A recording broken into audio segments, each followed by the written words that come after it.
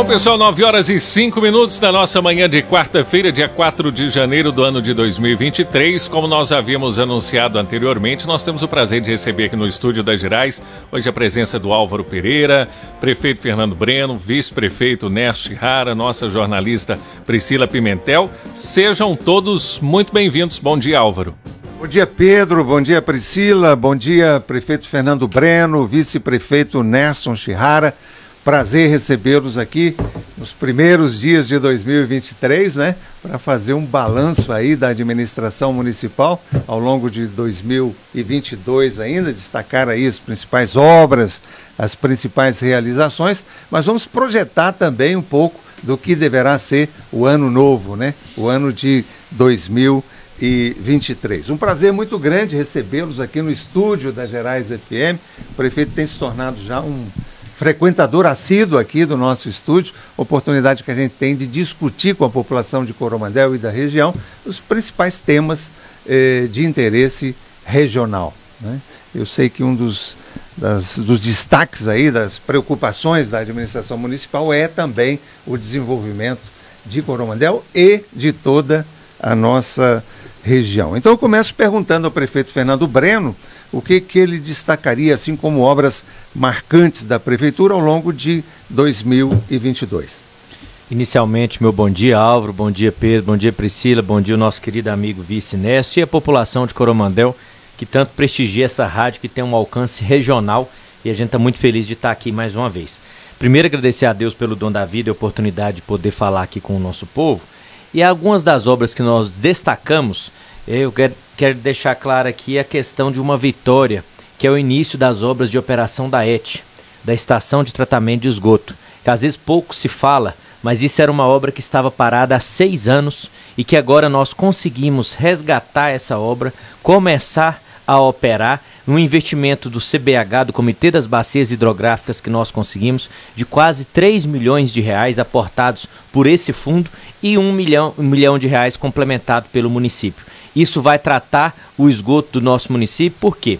Só foi retirado o esgoto do centro da cidade e jogado no canto, vamos dizer assim, jogado na zona rural quase, na parte baixa da cidade. E agora nós estamos iniciando esse tratamento que é uma obra histórica que vai concretizar agora no centenário da nossa cidade. É Essa obra ano. ela torna definitivo a, a, solução, uma solução definitiva para o problema do esgoto em Coromandel? Sim, sim, é uma solução definitiva que nós aí almejamos o tratamento de 85 a 95% do nosso esgoto. Então isso é algo que vai ser um marco na nossa história aqui do nosso município. Isso é uma obra que vai estender além de 2023, pro, provavelmente. A gente pensa em concluir esse ano de 23, né? Hum. Mas a gente não pode garantir, porque tem condição climática, tem questão de, de empresa que venceu a licitação, mas já tem uma empresa já é, operando ela. E aí tem alguns uhum. ajustes que precisam ser feitos também na questão da construção da AET propriamente dita. Uhum. Que outras realizações o senhor destacaria como Não posso é, deixar de destacar, é, Álvaro, a nossa zona rural, uhum. o carinho que o Nesso tem e um compromisso nosso com a região, que foi a, a Serra da Dona Marica, antiga Serra Velha e do Tubo, que é o asfalto lá de um quilômetro e meio, no valor aproximado aí de 3 milhões de reais. Era uma obra que todo mundo esperava, que muitos prometiam, mas ninguém fazia. E nós, com menos de dois anos de mandato, conseguimos concluir um trecho aí que tinha ali 300 caminhão, carreta passando por ali. Uhum. Então a gente conseguiu concluir essa obra. Outro ponto importante: o parque de lazer, que a população de Coromandel sempre questionava a possibilidade de um local de espaço de lazer, de um cartão postal. E a saída para patrocínio com aquele porte, com a placa Eu Amo Coromandel, com o que está sendo construído lá, que também é uma, uma ideia também do nosso, do nosso vice do Nesso, que a gente está construindo lá, a gente vai avançar muito na questão de lazer para as pessoas. Nossa previsão da entrega definitiva daquela obra, porque nós queremos fazer iluminação, a ponte de madeira lá no fundo, quiosque e queremos fazer parquinho infantil para as crianças. E no futuro, até terceirizar uma parte do outro lado da lagoa para que alguém quer vender uma água de coco, um lanche, para ter um movimento maior ali, ali naquela região. A gente pensa que até o meio deste ano, a gente, quem sabe, inaugurar isso para a nossa exposição, para as pessoas que já vêm aqui para a exposição, ver essa grande obra concluída, né, Nessa? É um, é um desejo que a gente tem. E também, é, agora nós vamos inaugurar nesse mês de janeiro, o nosso centro de fisioterapia, que é aquela parte é, anterior ali ao pronto-socorro, pela, pela outra rua sem ser a doutor Humberto, esqueci o nome agora, que nós já temos lá 400 pacientes sendo atendidos na fisioterapia. O Covid, ele trouxe várias sequelas, várias sequelas mentais e físicas. E se nós investimos um X na saúde, Pedro, hoje nós investimos 2X. Nós duplicamos. E a fisioterapia é um dos pontos que a gente tem avançado para ajudar, até porque a nossa expectativa de vida do cidadão está aumentando. Então a gente precisa muito disso. Mas teve várias outras obras. Eu vou citar aqui rapidamente para não perder o tempo. Nós tivemos a Ponte Levi Matos na zona rural, quadra do Jardim Vitória Hermes de Moura, reestruturação da pintura do Centenário, ponte no Alegre, primeira, primeira ponte tubulão no Altinho, parquinhos infantis Santa Rosa, Lagamar, reforma do ginásio Borjão, o pórtico na entrada da cidade, a inauguração da feira livre e gastronômica. Outra ideia que o Ness defendeu bastante. Hoje é dia, né? Hoje é dia, quarta-feira, todos convidados. Aí Uma a partir delícia. das 4 horas, 4 e meia até 5 horas, o pessoal está iniciando lá e está sendo um sucesso com atrações culturais. O pessoal está vendendo bastante e é outro espaço de lazer. Então nós temos na quarta a feira gastronômica e no sábado a feira do produtor rural que foi totalmente reestruturada. A galeria dos prefeitos, a reforma do posto Taquaril, a formação da escola formação de foliões, Tião Carapina, a Praça da Bíblia, que era uma praça que estava abandonada cerca de dois anos desde a gestão anterior. Nós revitalizamos toda ela e é um espaço para profissão de fé e mais um espaço de lazer, independente da fé que o sujeito possua e o asfaltamento da Serra da Dona Marica, que eu disse para vocês. Agora, em andamento, nós temos aqui outras várias obras, como por exemplo, o Córrego da Biloca, os gabiões no Córrego da Biloca que a gente está fazendo, o Parque de Lazer na saída para patrocínio, a estação de tratamento de esgoto que não para. Ness, fala um pouquinho aí do Centro Diagnóstico de Imagem, que é uma parceria nossa aí com a Santa Casa. É, bom dia a todos. É um prazer a gente estar aqui na Gerais para falar sobre a administração.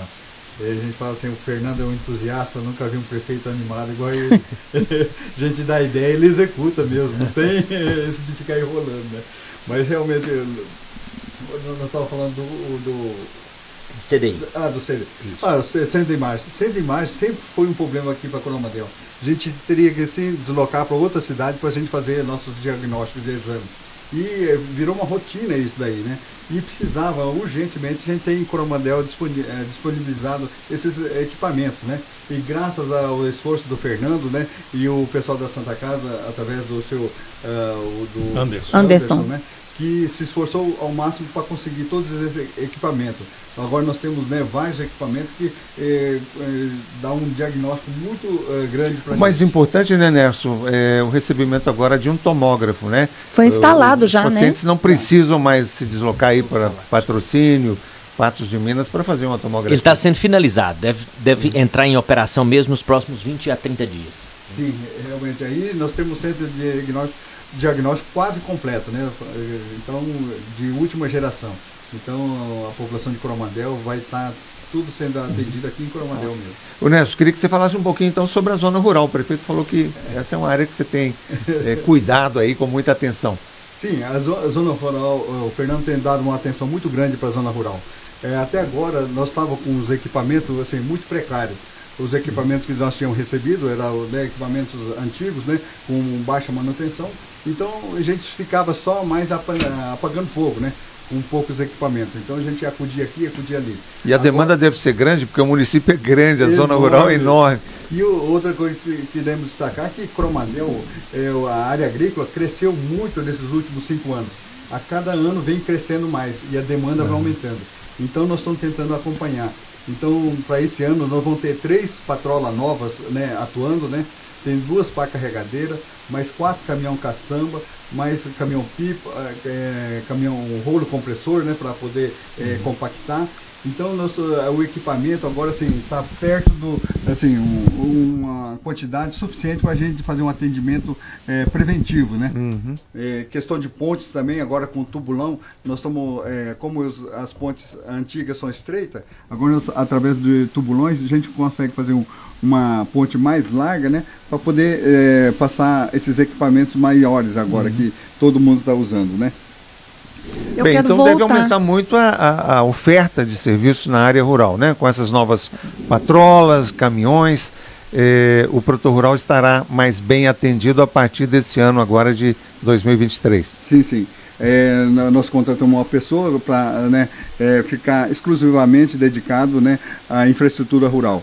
Então ele vai acompanhar dia a dia mais de perto, né, para poder é, esses é, maquinários ter uma eficiência maior. Só complementando o que o Nécio disse, é, nós temos 7.500 quilômetros de estrada. E além de toda essa estrutura nova que nós estamos adquirindo, porque infelizmente as últimas gestões adquiriram muito pouco é, material, é, equipamento novo. Nós ainda fizemos a hora terceirizada máquina. Então, eu sei que a população está aflita aí porque está chovendo muito, isso danifica as estradas, mas assim que parar a chuva, nós vamos começar uma grande frente com essas horas máquinas e também com esse maquinário novo para poder ajudar a nossa população da zona rural. Eu quero voltar um pouquinho aqui, prefeito e Nerso. É, vocês falaram do asfalto lá da Dona Marica, lá na Serra.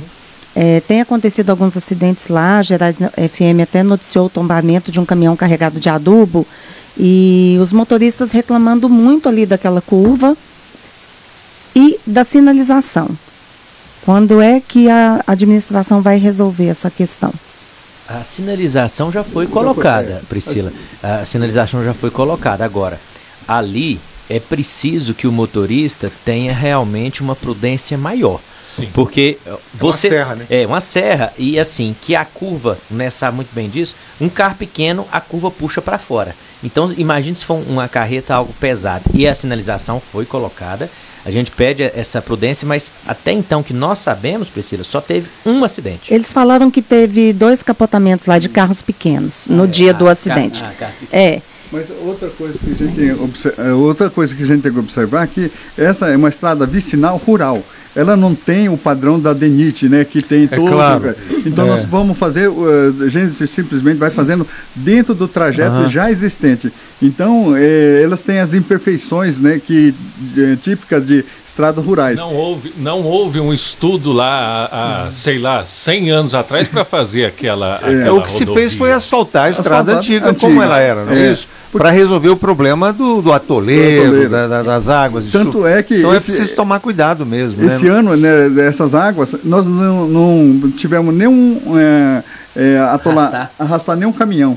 O ano e passado? Ano passado, todo dia as patrolas é. saíam para arrastar caminhão, né, para a zona rural. Uhum. É, e esse ano ainda, por enquanto, nenhum caminhão foi. O principal problema foi resolvido, que é o tráfego, uhum. né? É, fluir, né? É. É, agora é preciso tomar cuidado mesmo com essas. É, porque Nossa. é, uma, é uma estrada perigosa, né? É uma serra. É uma serra. Já dentro desse assunto da, das estradas, até o prefeito acabou de falar agora da questão da, da época das chuvas, nós acabamos até de responder já dois questionamentos que foram feitos aqui no nosso WhatsApp rel, relacionado a essa questão da, da dos buracos, tanto ah, na cidade quanto na zona rural. Então, cessou a chuva, esse trabalho já vai ser feito. Sim, vai ser feito porque nós já estamos preparados para isso. Tanto é que nós terceirizamos aí 1 milhão e 200 mil reais de hora máquina para atender isso. E vamos colocar essa, esse novo maquinário à disposição para atender. Outro ponto importante que a população fica preocupada.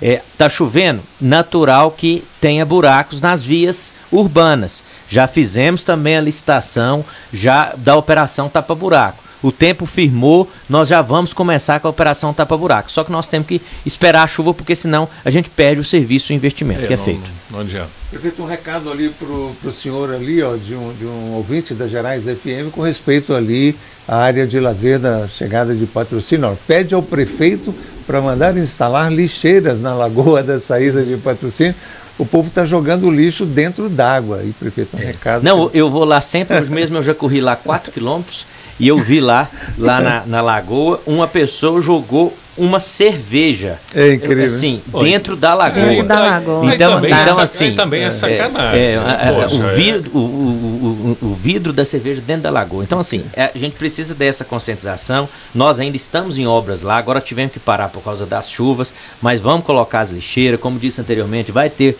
o quiosque, vai ter o parquinho infantil. Então, uhum. Então já tem uma, ainda tem uma série de ações para uhum. serem feitas lá. E é só o início, como eu disse, a nossa previsão é entregar lá para junho, uhum. julho. Não tem, porque tem muita obra ainda a ser feita. Mas uhum. esse é o caminho, obrigado aí pela sugestão que será acatada. E fica um recado aí para a população, né? Quer dizer, aquilo é um patrimônio Leva público, lixo deve ser casa, né? tratado com muito cuidado e respeito, né? Sem dúvida. Quero e... perguntar mais uma coisa, prefeito, você não vai ficar nervoso comigo. Da outra vez que você veio, nós falamos da questão do esgoto lá naquele local da lagoa. Como é que está essa situação? Hoje nós não temos problema lá, no não. No sentido ali do, do anel viário, tem um mau cheiro ali. Não, não. Lá, lá, lá tá, aí é, é, é, diferente.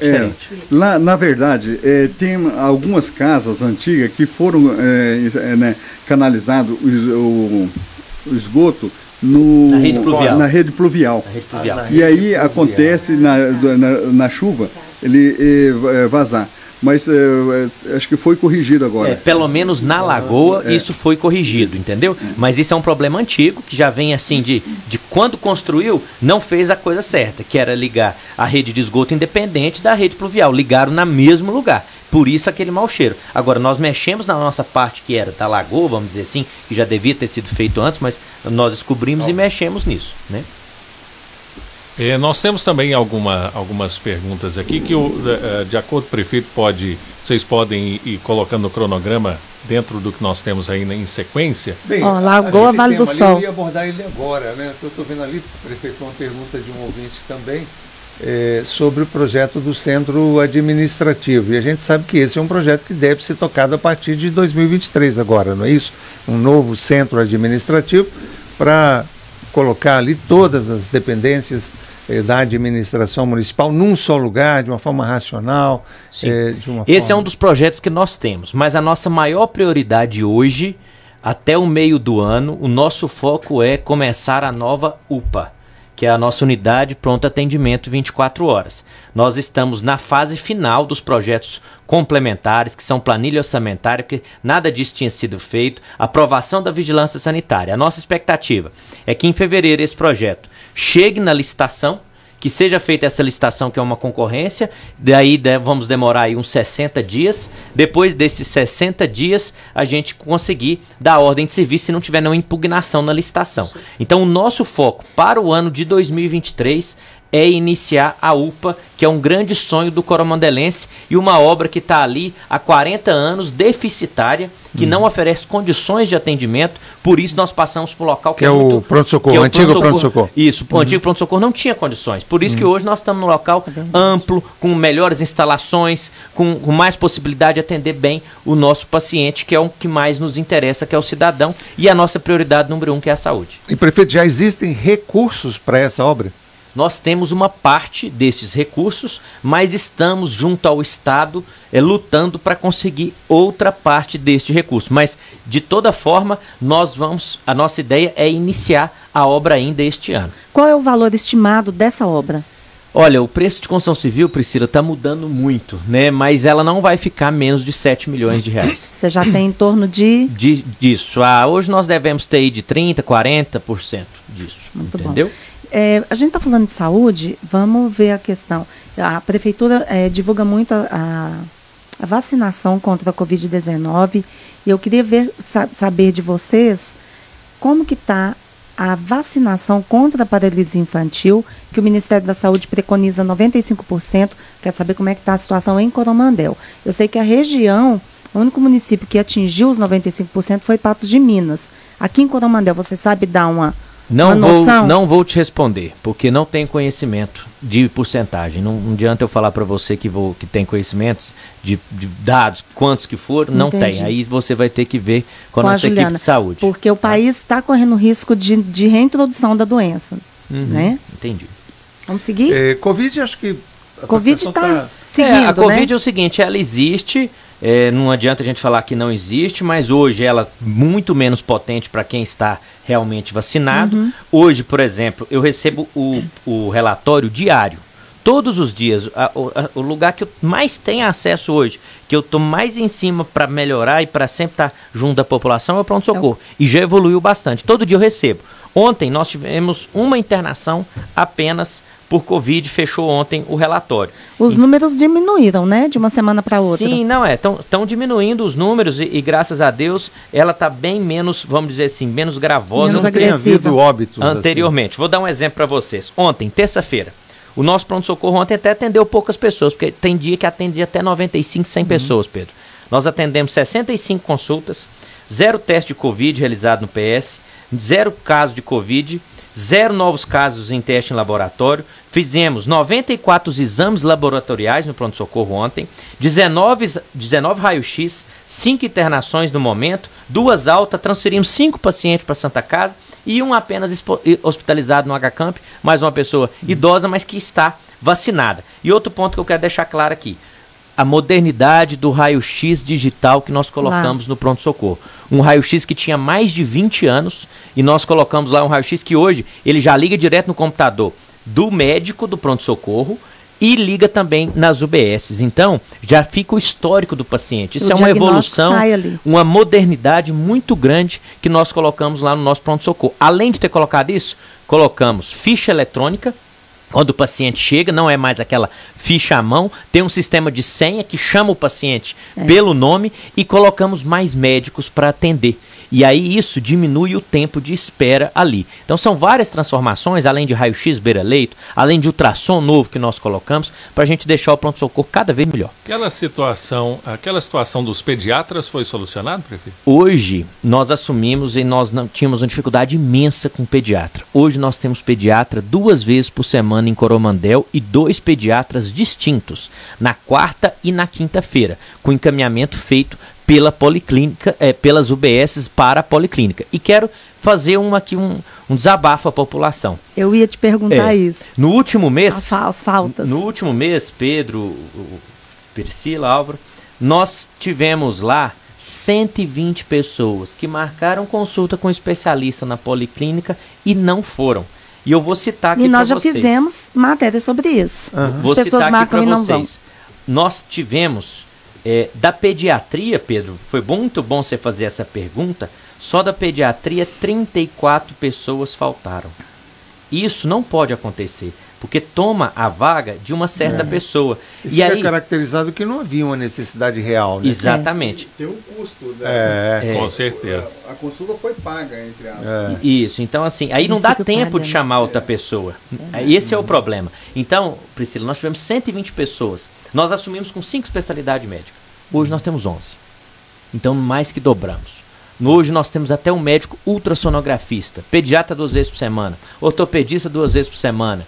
Uh, nós temos agora, começamos a fazer cirurgia na Santa Casa com angiologista, que é um grande ganho para Coromandel, que, que é a cirurgia vascular. Começamos também com otorrino laringologista, que era outra demanda das mães, das famílias, e a gente está fazendo. Nós temos neurologista, nós temos urologista, nós temos oftalmologista. Essas especialidades na Santa Casa ou no pronto-socorro? Essas, nós começamos as cirurgias na Santa Casa, que era, que era eh, o mais urgente, uhum. e nós vamos... acompanhamos a primeira cirurgia. Sim, nós Isso, fizemos. E, e, vamos agora colocar o atendimento na policlínica também a partir desse mês. Ótimo. Então, assim, é um ganho gigante para Coromandel. Prefeito, com relação ao Covid, quando é que devem chegar por aqui as, essa nova geração de, de vacinas nós que ainda, também essas nós novas ainda variantes? Não temos previsão ainda. Agora está mudando também o ministério, ministério né? né? Agora essa mudança de governo, não temos. Mas só queria também, é, já que nós falamos aqui de, de, de saúde, é, é, a questão. Perguntar. É, Vamos perguntar. Nós vamos falar disso aí, que isso aí é um ponto importante. Saúde pública, é, né? Saúde pública. É, nós, eu estou com um relatório aqui, o tanto que nós temos evoluído no atendimento nas UBSs. A UBS hoje é um mini hospital. Nós fazemos inclusive pequenas cirurgias. E nós temos lá o atendimento com enfermeiro, médico, psicólogo, nutricionista e dentista. Vou pegar aqui um, um exemplo para vocês. Brasil Novo. Nós fechamos o ano com 5.531 atendimentos médicos, com 3.586 atendimentos de enfermeiro, 12.487 atendimentos de ACS, 253 de psicólogo, 73 de nutricionista e 2.580 de dentista. Então a gente tem esse controle todo na palma da mão através da nossa coordenação da atenção primária. Um abraço para Juliano, o Eleonai, a Lília, que trabalham muito nesse sentido. E a UBS hoje nós temos o Saúde do Trabalhador, que será estendido, é outra novidade do nosso governo, que será estendido até as 20 horas, Alvo. para atender quem trabalha na zona rural, quem trabalha o dia inteiro e não tem como ir. É a partir das 17 horas e o. o Isso, hoje está é até demanda, 19. É livre demanda, né? É, hoje está até 19, mas vamos levar até as 20 horas. E assim, o trabalhador chega e ele é atendido. Ele, vai, ele é atendido. Prefeito, com relação à educação, eh, acho que se dá para destacar também essa parceria aí com a com o Instituto Federal do Triângulo Mineiro, né? O IFTM, uhum. né? que passa a oferecer cursos técnicos sim. aí, também cursos de línguas sim, aqui em Coromandel. Ô Ness, fala aí para nós primeiro da demanda do agronegócio por mão de obra para entender por que, que nós é. estamos fazendo isso realmente aqui é, né, na agronegócio ele cresceu muito, tanto que a gente vê tantas empresas né, no setor agrícola chegando aqui em Coromandel. Sem dúvida nenhuma, Coromandel hoje é um polo agrícola importante em nível nacional, né? Acho que não dá é. nem para falar mais em nível de Minas Gerais, é uma referência. Sim, é, Coromandel, né, 80% da riqueza vem do agronegócio. E o Coromandel se destaca assim, no cenário de Minas, é a oitava do, cidade é, mais é, de PIB agrícola, né? E o 90 do país. Dentre 8.500 municípios, nós estamos 90, 90. Então, é, é, muito representativo aqui. E aí tem uma demanda muito grande de eh, pessoas para trabalhar nesse ramo. E tanto é que o Fernando teve essa visão de trazer o IFTM para trazer esses cursos técnicos. Porque nós São quase todos na área do agro. Uma, é, uma boa, boa parte é do uhum. setor do agro que tem vem carregado com, com muitas tecnologias hoje e não tem pessoas para... Que tipo, Nelson, de, de cursos são oferecidos hoje aqui em Coromandel nessa área? É, o, no agro, é, como é? agronegócios, né? Técnico agrícola. Não, não. Técnico é, agropecuária. É, Técnico em é, agronegócio. Agronegócio. É, é técnico agronegócio. É, mais a parte administrativa é, do setor, isso. não a parte de campo. A gestão do negócio. A gestão, gestão do negócio. É, gestão do agronegócio. Seria com, é, compra, venda, entendimento, mercado financeiro, exportação, importação, comercialização, comercialização. Análise de mercado, análise de, de financeira, né? fazer os balanços financeiros. Uhum. Hoje nós temos na, em Coromandel, Álvaro, verdadeiras empresas rurais que são as fazendas que viraram, as propriedades rurais viraram empresas. Então, o técnico agronegócio é para conduzir isso, que é um curso gratuito, bancado pela prefeitura em parceria com o IFTM, uhum. que é o Instituto Federal do Triângulo Mineiro. E o técnico em agropecuária, que é aquele uhum. que vai a campo, que vai operar, que vai lidar com máquina, que vai lidar com gado, uhum. que tem essa vocação. E ainda inovamos agora. Lançamos o curso gratuito também de inglês e espanhol que isso dá uma outra visão aqui para nossa cidade uhum. e as pessoas aí, jovens, a partir de 16 anos, adultos, podem fazer. E é um curso gratuito através do processo seletivo que você faz. Então não tem como. Quando a gente fala de um crescimento de 40 anos em 4, não tem como você fazer uhum. um tipo desse crescimento sem ter o estudo, sem uhum. a qualificação. E hoje a nossa preocupação do NES minha é qualificar a nossa mão de obra. Às vezes o curso técnico é muito mais importante que a graduação. É, nós temos falado muito desses investimentos feitos aqui em Coromandel por grandes empresas do agro. E tivemos recentemente aqui a instalação da, da Ouro Safra, né, nessa área de, de abastecimento, de, de armazéns. É, tivemos também a Cocari, né, que se instalou também em Coromandel. É, que outros investimentos estão previstos aí para 2023, 2024 e que a gente ainda não tenha tomado conhecimento? Não, nós temos que destacar o nosso distrito industrial. O nosso distrito industrial, quem passar por lá, vai ver assim uma Muita quantidade é enorme de barracões sendo construídos.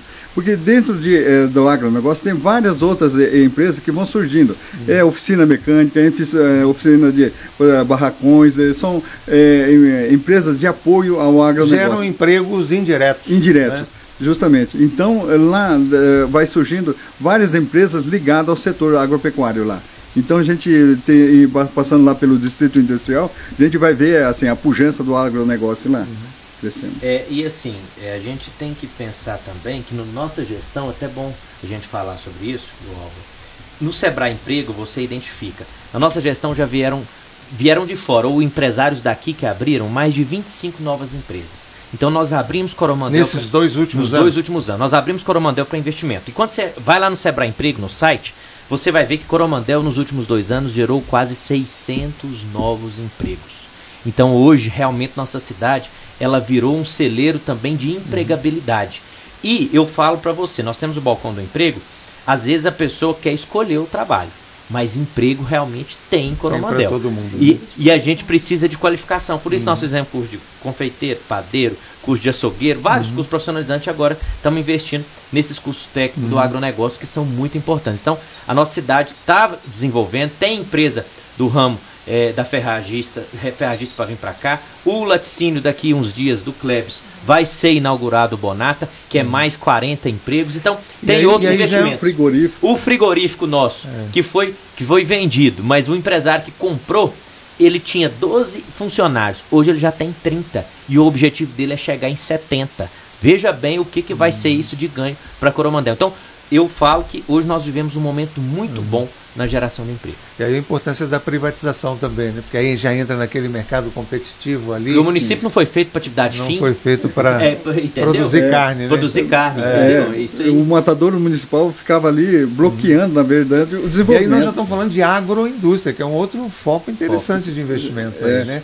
Será muito interessante trazer novas agroindústrias também para Coromandel. Acho que o Pedro quer que eu responda as perguntas, né, Pedro? E, é, apenas tá chegando ali um, apenas perguntinhas um, de varejo. Um esclarecimento da questão das perguntas. O pessoal que está mandando, principalmente pelo WhatsApp da, da Gerais, não tem como a gente ouvir as mensagens de voz. Então, se você tiver algum questionamento, mande mensagem de texto, que a mensagem uhum. de voz agora a gente não tem condição de ouvir.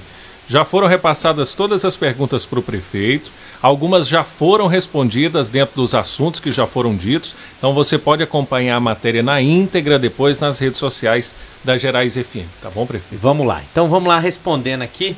Essa ponte da Barra de Santa Rosa, eu não não conhecia, não sabia desse assunto, mas eu vou cobrar do Toninho, que é nosso responsável. E assim que a gente parar esse período chuvoso, a gente vai dar uma atenção especial ao Nilson Borges aí. Um abraço, pode contar com o nosso apoio. Outra notícia importante: nós iniciamos o ano muito bem. Nós iniciamos o ano com a gratuidade no transporte público coletivo.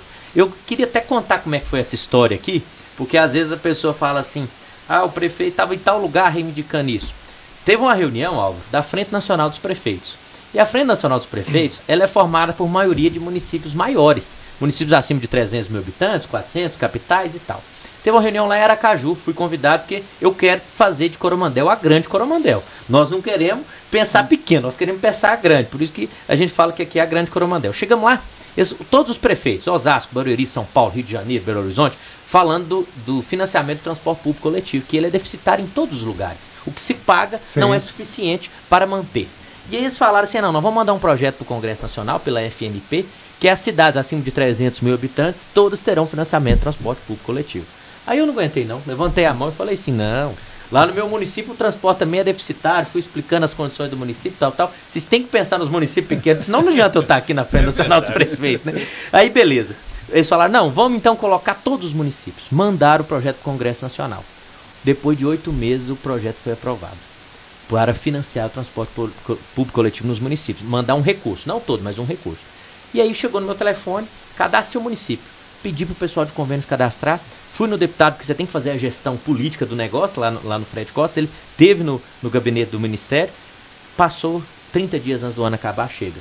537 mil reais para financiamento do transporte público coletivo. Para dois anos. Ah.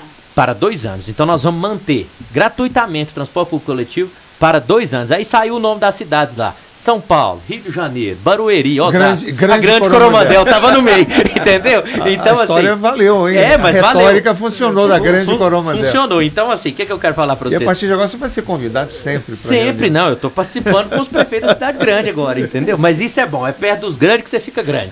Você não pode pensar pequeno, né? Perto dos bons que fica bom. E fica melhor, né? Então, assim, nós temos essa gratuidade nos dois próximos anos, graças a esse recurso. A partir do, da próxima semana, nós teremos outro ônibus para ajudar, porque agora mais pessoas vão andar de ônibus, então nós teremos outro ônibus para ajudar e fazer os bairros da cidade que não estavam sendo feitos. Então é uma grande novidade para ajudar você, cidadão, você, mulher que trabalha, homem que trabalha, estudante, que às vezes tem dificuldade para andar de ônibus, para pagar. E gratuito para todos. E gratuito para todos, indistintamente. Então é um grande bom, ganho para a população que mais precisa. Então realmente terá esse outro ônibus. Sobre o trabalho junto ao DR, Aqui nós não dormimos de botina não, Pedro. Nós, nós fomos lá no, no DR tem uns 15 dias. O negócio tá crítico, Tá crítico. Eu tive lá tá na Santa crítico. Rosa, inclusive, e a estrada da Santa Rosa tá muito pé, assim, péssima mesmo, de, de buracos. a do Pântano também está muito ruim. E a promessa deles, para mim, eu estive lá pessoalmente como diretor do DR do Estado de Minas, é que assim que acabar o período chuvoso, eles vão começar as frentes de trabalho. Primeiro vão fazer um distrito, e nas proximidades de um distrito, depois vão fazer no outro. E até quero deixar claro que eu fui mexer numa estrada do DR o ano passado e um abençoado me denunciou no Ministério Público. Então, assim, é tão complicado isso porque a oposição que não quer o bem da, da, da, da cidade, que quer o mal do governo, por motivos que a gente desconhece, faz esse tipo de ação. Então, para deixar bem claro que nós fizemos isso e fomos penalizados, mas agora a gente já está cobrando isso do DR. Outra questão aqui, mais um presente para a população. Eu não ia falar agora, não, mas vai ter um momento. Depois eu vou convocar vocês para fazer um evento e tal. Mas nós estamos muito próximos de conseguir e de começar o asfalto na saída do Brasil Novo, ali na saída da Avenida do Contorno indo para o Douradinho, até onde vai aquela usina de, de solar. Que, hoje nós temos seis usinas é, de energia solar que vieram para cá depois que nós assumimos. Então é outro ponto positivo. Mas nós estamos muito próximos de conseguir esse recurso. É aquela avenida? Do contorno que chama. Isso. E também vamos fazer uma parte da Avenida João Ferreira Borges. Então está bem próximo também de se iniciar. É, é uma notícia que. Estamos dando essa informação em primeira mão, é, como dizem os internautas, um spoiler. É um spoiler. Isso aqui é em primeira mão para vocês, está muito próximo da gente começar, de, de, já sair esse recurso, e com certeza a população do Brasil Novo e do Brasilzinho vai ser bem assistida de um problema que eles têm lá há mais de 30 anos e a gente vai resolver com fé em Deus. Ali tem também uma usina né, de energia tem, é, fotovoltaica, é, né? É, o asfalto outra, vai até perto. E outra construindo agora, é. da Oregon. Isso, da Oregon. E, e assim, até falando de usina, é, o Pedro apresentou lá e viu, nós conseguimos para Coromandel a usina de energia solar da Solatio, gente, 330 funcionários, um investimento de mais de 25 milhões de reais, movimentou o nosso comércio, aqueceu a nossa economia e desses 330, só 15 era de Coromandel. É. Né, que trouxeram gente de fora para trabalhar. E muitos daqui não quiseram esse tipo de trabalho. Então, para deixar claro que nós estamos mostrando para vocês em números uhum. o que está acontecendo hoje na nossa grande Coromandel. Água na comunidade da Charneca. Já está autorizado o poço artesiano. Já começaram a montar esse poço artesiano lá. Outro problema: a Charneca era um local que estava até então muito esquecido. Não tinha um local adequado para atender os, os pacientes. Nós colocamos um posto, construímos um posto lá, colocamos um espaço adequado e agora é, como deu problema nessa água lá e dá problema a vida inteira, nós já autorizamos a consecução do posto artesiano que já está em andamento e vai solucionar o problema da comunidade. ONGs cães abandonados. Essa é uma boa pergunta, né, gente? Isso aqui é um problema é. sério, sério. Agora, eu, eu, vou ser muito honesto com a população, gente. É, nós já licitamos um centro de castração e zoonoses, que devemos iniciar esse ano também, mais uma das obras que nós vamos fazer. E lá nesse centro de castração e zoonose, que é aquele animal que tem algum tipo de doença, algum problema, é, nós vamos investir lá, além da obra que vai ficar mais de 300 mil reais, nós vamos investir por mês 30 mil reais. 30 mil reais para ter 30 animais lá. Então veja o custo de um animal num determinado local. E hoje, gente, pela legislação que nós temos, nós não podemos mais ter canil. Colocar um aglomerado de animais num local só, a legislação não permite. E mesmo se permitisse, o município não teria condição. O que foi feito aquele caminho Ele, exi ele existe só a estrutura, mas não pode funcionar. A carrocinha não pode, precisa, mas não pode. É, hoje tem a lei dos maus tratos, o cara sai preso. Então, assim, não tem jeito. Isso é. Nós vamos primeiro ter esse centro de castração de zoonoses, né? Que já vai ser um ganho para a nossa comunidade, né? Para tratar. Pelo menos os animais. cachorros não se multiplicam, né? É, isso. E outra. E no futuro, nós estamos estudando a possibilidade de um abrigo, mas em parceria com a Associação dos Protetores dos Animais. Mas é importante deixar bem claro aqui, gente, que nós saímos do ponto zero e estamos no estágio 3 no controle e natalidade dos animais. Por que, que eu falo isso?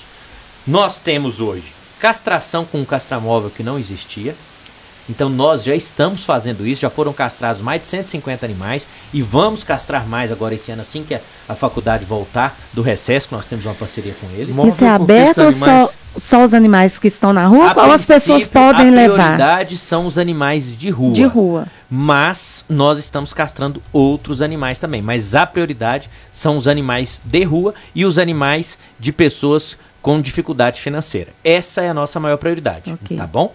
É, estamos apoiando a APA também em alguns resgates e agora teremos também é, uma subvenção que estamos estipulando ainda quanto será para eles mensal, para que eles uhum. possam fazer esses resgates, cuidar dos animais e temos também um espaço já para alguns animais que são atropelados, que, que, tem, que sofrem com algum dano. Então isso nós já estamos fazendo.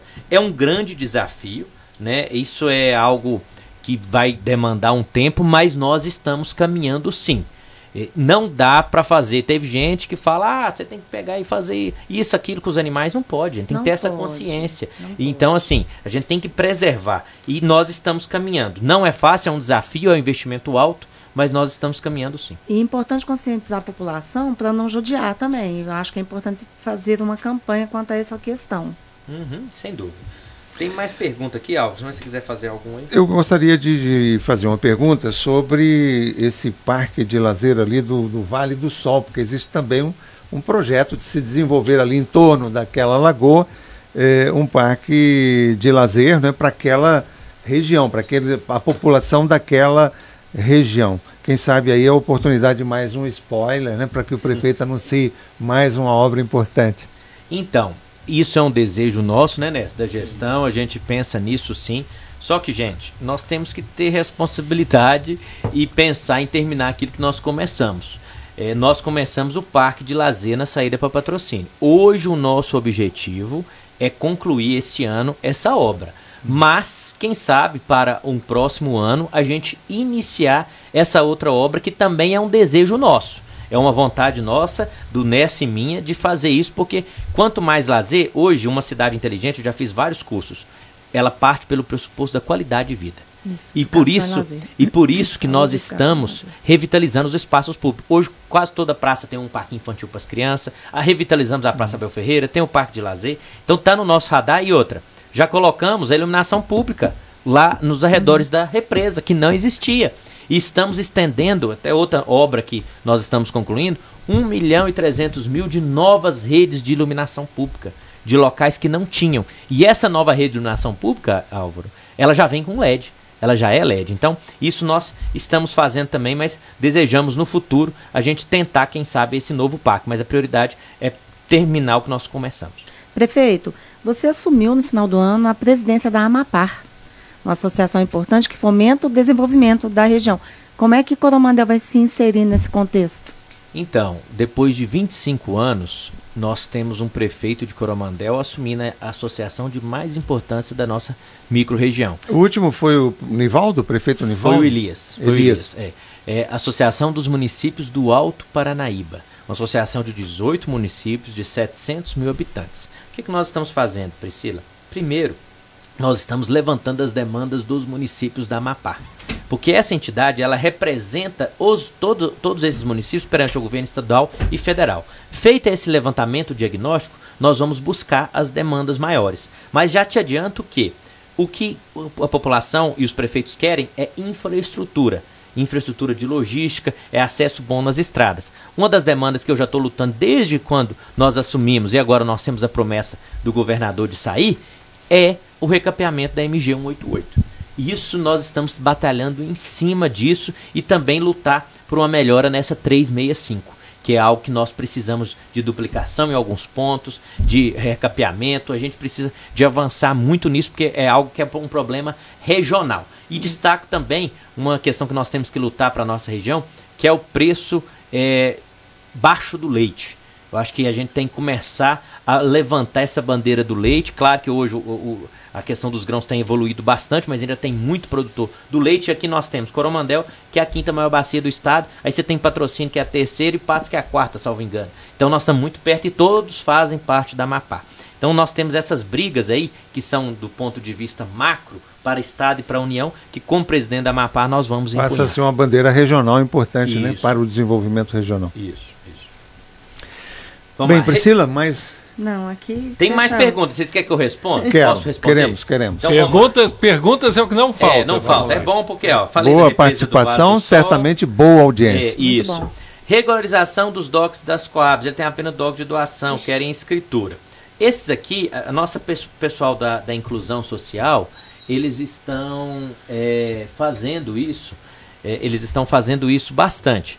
Nós estamos em contato com a Coab, você pode procurar a, a, a nossa inclusão social, Secretaria de Inclusão Social, e a gente está em contato com eles para entregar essas escrituras. Mas quero dar mais uma boa notícia nova aqui para a população de um projeto esse ano. Nós entregaremos mais de 400 REURBs, REURB social, que é a regularização urbana de algum imóvel irregular que tem no bairro Brasil Novo, no bairro Gameleira, no bairro Taquaril, no bairro Piteiras, no bairro Boa Esperança. Isso é a escritura gratuita que a prefeitura nós vamos entregar para o cidadão dando dignidade a essas pessoas. Prefeito, desculpa, então Sim? quem tem alguma não, não só irregularidade, mas está só com esse documento de doação, deve procurar qual qual a Secretaria de Inclusão Social, Secretaria Gestão de Inclusão, de Inclusão Social. Social. E a REURB, o nosso CRAS faz análise social, o nosso jurídico olha e a nossa pessoal da obras faz a medição do terreno. Então nós estamos aí finalizando isso, já está no cartório uma parte. Provavelmente agora, nos primeiros meses do ano, nós vamos entregar algumas escrituras do Gameleira, de, de, de situações irregulares, e também do bairro Brasil Novo. Escrituras gratuitas dando dignidade para essas pessoas. Aqui tem uma reivindicação justa, que eu até vou anotar aqui, um parque infantil é, no Altinho, que é um dos lugares que ainda não tem. Vou anotar aqui, vamos batalhar para conseguir isso sim. Né? Nós colocamos já quase em todos os locais de, de, da zona rural. Rede de água de esgoto no bairro industrial. Lá a, a água já está bem avançada, né, Nessa? Sim, sim, a canalização já está quase completa. A Copasa precisa fazer agora a caixa d'água, de caixa d'água, né? Isso, né, a caixa d'água, Para distribuir. Dela. Mas a canalização praticamente já está toda, a rede está feita lá. Posto de saúde lá da comunidade dos Pereiras, precisando limpeza, limpeza urbana. Orçamento, orçamento, limpeza, enfim. Limpeza né? no posto dos Pereiras. Não, lá nós, nós falamos com o Jacinto, ele é doido lá, ele sempre tá lá junto, ele vai é. resolver isso rapidinho para nós. Viu? Lá é reduto do Pedro também, né? É, o Pedro é. é, é. O Pedro é dos Pereiras. Terra boa, só gente boa. Ele é dos Pereira e do Douradinho. Goramena faz um versinho. Muito bom. Não, eu queria destacar também da, da, reciclagem também. Ah, falei, isso é importante. Não, a Coromandel agora está, uh, 100% da cidade está abrangido pelo recolhimento da, dos materiais né, recicláveis, né? E estamos terminando o barracão lá para dar mais né, conforto e, e para o pessoal que trabalha com a reciclagem. Então, reciclagem de lixo. De e... lixo, é. Ah, uma, uma, uma dúvida. Né? É, já falando nessa questão de, de, de recolhimento de, de, lixo, coleta seletiva, enfim. É, é, esse, esse lixo, principalmente de limpeza de horta, limpeza de, de, de lotes que às vezes o proprietário faz, coloca lá no, lá no passeio, como que é feito esse recolhimento? Liga e, e pede, é semanal, é, com, é como que é? Assim, a, a prefeitura, Pedro, não tem obrigação certo. com, com é, lixos particulares. Né? Isso aí a gente não tem, a gente não consegue. Infelizmente a gente não consegue. Algum outro caso esporádico, a gente pode até atender. Mas assim, a gente não consegue atender essa demanda pessoal rotina, toda, não. Né? Como, Como mas... rotina, porque nós não temos é. estrutura, nós não temos maquinário para isso. A administração notifica o proprietário? Nós notificamos, por exemplo, lote. O ano passado nós fizemos mais de 300 notificações né, para limpeza, onde tem entulho. E essas notificações são feitas. E quando ele não cumpre? Aí é multa. É a multa, por exemplo, dos lotes é. hoje é 800 reais. e, for, e foi aplicada. Né? É saúde pública. É saúde pública. Isso, né? isso não, tem, não tem jeito. Então a gente pede a conscientização da então, população. Então, assim, Muito a bom. população pode procurar a Secretaria de Obras, de Obras para notificações. Para notificações. Pode, pode. E outra questão que eu gostaria de ressaltar, como nós estamos entrando agora no ano do centenário, dá uma notícia boa para o nosso povo que no esporte o ano passado, Coromandel foi classificada no estado de Minas Gerais como a vigésima cidade que mais se pratica esporte, de 853 municípios. Então isso elevou o nosso ganho para esse ano do ICMS esportivo. E tivemos também a maior nota da série histórica desde 2014 da cultura, alcançando 14,87, o que vai ser um ponto também muito bom para o ICMS turístico. E esse ano nós devemos fazer, Álvaro, é outra novidade que eu vou contar aqui para vocês, é um, um concurso é, de duas formas para uma revista do centenário elegendo os 100 maiores coromandelenses de todos os tempos, dividido por várias áreas: política, educação, cultura, empreendedorismo, agronegócio. Então é algo que também que nós vamos fazer aí nesse ano do Isso centenário. Faz, fará parte da programação, da programação do, centenário. do centenário, que aí nós vamos envolver as escolas, vamos envolver uma uhum. série de, de, de pessoas. E essa programação prevê eventos ao longo de todo o ano ou os eventos serão concentrados? Tem eventos durante todo o ano, mas serão mais ainda no mês de setembro, que é quando a gente comemora o aniversário. Depois nós vamos ter que ter um, uma entrevista só para falar do centenário, Sem que é dúvida. é muita ação. Sem dúvida. Infelizmente, eu já tenho que chamar a atenção, eu já tenho que chamar a atenção com relação ao nosso tempo. Falta apenas seis minutos para a gente. Não, mas estávamos chegando aqui também ao, ao final da nossa conversa. Eu queria aproveitar para agradecer mais uma vez ao prefeito Fernando Breno pela presença ao vivo aqui no estúdio da Gerais FM, ele que sempre nos prestigia.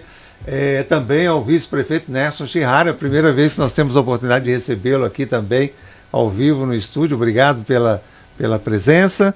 E... Aqui nós temos um vice que trabalha e que é ativo, diferente. Verdade, viu? verdade. que trabalha tem, muito. tem função, né? Tem, tem. E, e queria passar a palavra para vocês, né? Para as considerações finais aí. Não, é, a gente, é um prazer a gente estar aqui, né, uma alegria também.